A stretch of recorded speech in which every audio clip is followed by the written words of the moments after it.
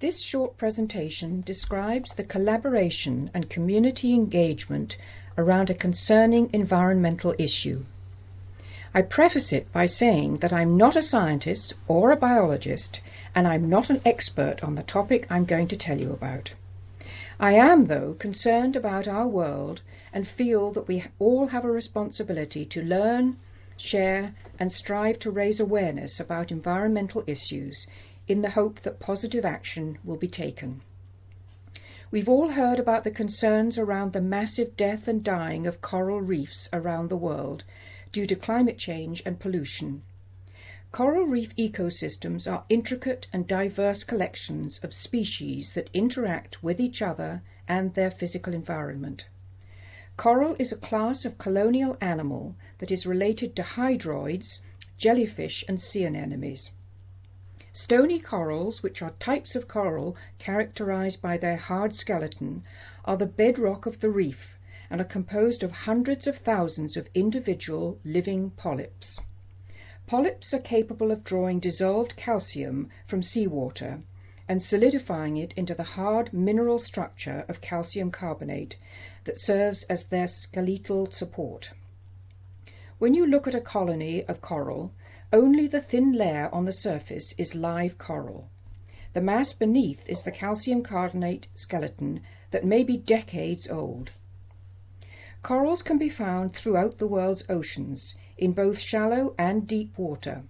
However, the reef building corals that rely on a symbiotic relationship with algae need shallow, clear water, allowing light penetration for photosynthesis.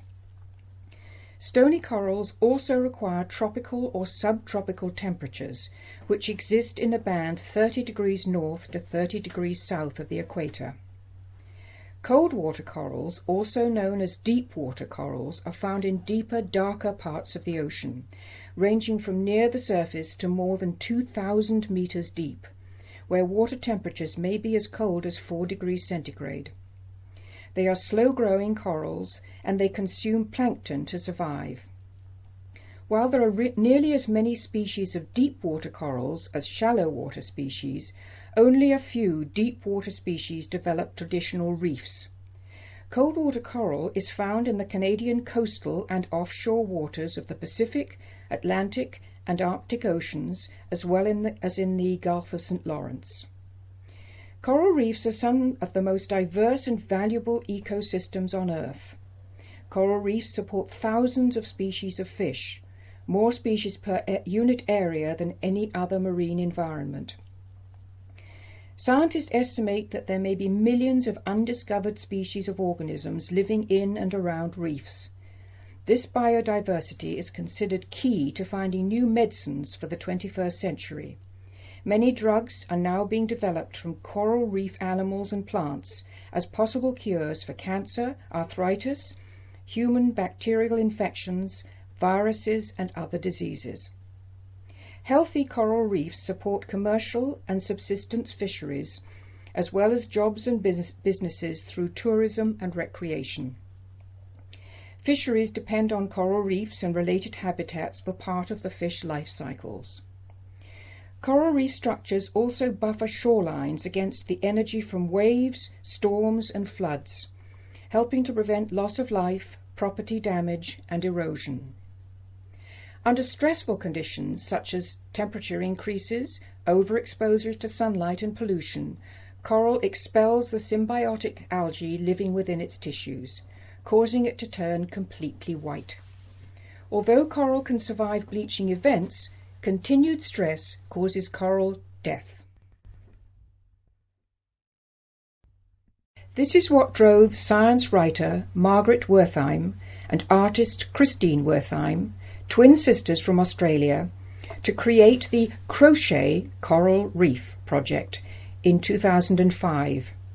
They realized that crochet has an amazing ability to mimic the mathematical unique forms of reefs while bringing crafting and science education together. The amazing Crochet Coral Reef Travelling Exhibition has been presented around the world, including the Ontario Science Centre, and has inspired community activism, environmental awareness, and math and science learning. The travelling exhibit has inspired local groups to build their own crochet satellite reefs. More than 20,000 people in more than 40 communities have crocheted satellite reefs around the world. The Ontario Science Centre joined this network of satellite reefs and sought contributions to their province-wide community art project to help them create a colourful coral reef made entirely from crochet.